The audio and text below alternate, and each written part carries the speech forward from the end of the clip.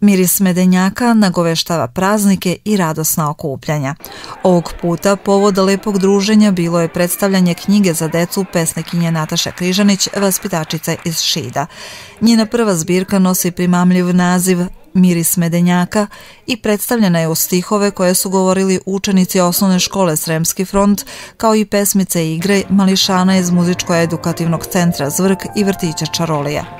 Nakon kratkog obraćanja autorke uz reči zahvalnosti svima koji su je u radu podržali, o značaju druženja dece uz knjigu i lepog izražavanja govorila je učiteljica Olivera Stanojević. O sadržaju ove zbirke pesnikinja nam je kazala sledeće. Knjiga sadrži 40 pesama koje su podeljene u četiri ciklusa, to su pesme o životinjama, e, prvi ciklus se zove Najlepša bića iz vrtića, zatim pesme o porodici i sve one teme koje u stvari privlače decu, u kojima se deca na neki način pronalaze i raduju.